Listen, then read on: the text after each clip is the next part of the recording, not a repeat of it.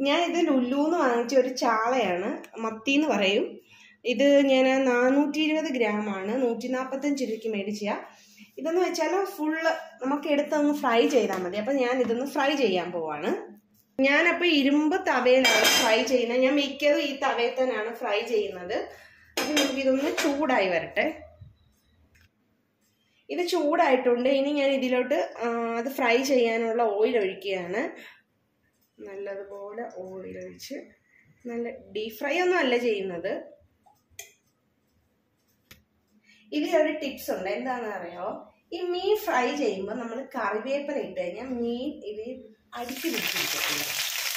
ഇപ്പൊ വെള്ളം ഉള്ളതുകൊണ്ടാണ് ചെറിയൊരു പൊട്ടിക്കലൊക്കെ വരുന്നത്. അത് മാറിപ്പോകും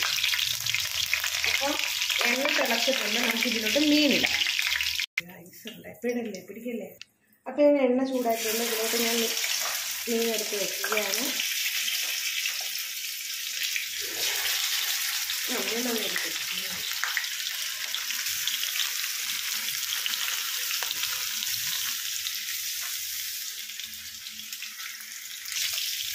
അപ്പം നമുക്കിത് പെരുക്കെ തിരിച്ചിടാം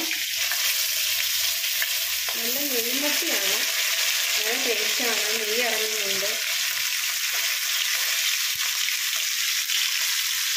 ഇതിങ്ങനെ ഇങ്ങനെ ചെയ്തിട്ട് തിരിക്കും